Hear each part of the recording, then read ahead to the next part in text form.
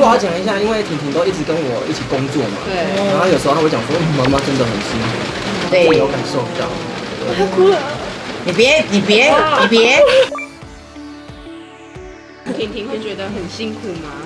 这次又跟妈妈搭档，她也让年轻人来体验一下，因为通常年轻人不太会，就是不太了解这些农作物，然后也了解到农民的真的很辛苦，真的很辛苦。伺候这些姐姐们会不会很累？对啊，因为两位刚好都演过我妈妈，对对，所以一个是阿布，一个是妈妈嘛，所以对我来讲，我觉得真的好像是个孝亲之旅。带两个妈妈又带了一个妹妹，是妹妹帮我很多。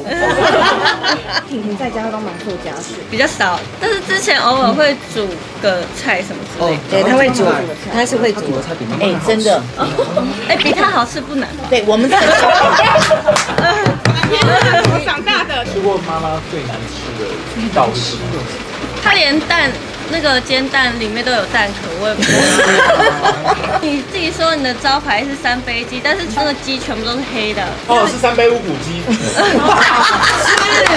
没错没错，就我要讲一下，因为婷婷都一直跟我一起工作嘛，对，然后有时候她会讲说，嗯妈妈真的很辛苦，对我有感受到。你别，你别，你别，你还要补妆了别。我可以讲昨天的事情吗？好，怎么了？他昨天传讯息，语音信讯息给我，他说儿子就开始哭啊，他说很感谢，然后说儿子谢谢你照顾婷婷什么的。哎，等一下，我也有哎。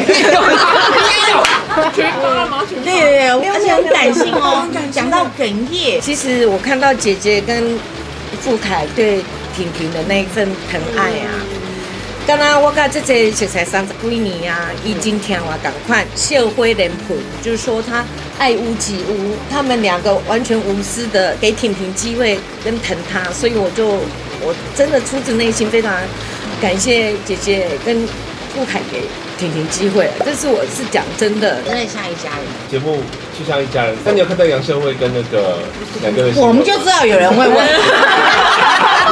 希望没事就好了。嗯，啊，因为在这圈子像大家庭一样，我当下打给他公生球的时阵，哎，咱就卖往心里面走，安尼就好啊。反正我们上节目就尽全力把效果做出来，这才是最重要的。观众喜欢看嘛，看节目都希望是开开心心、笑笑的嘛，快快乐乐，笑一笑就过了嘛，笑一笑晚上也好睡觉啊，哈。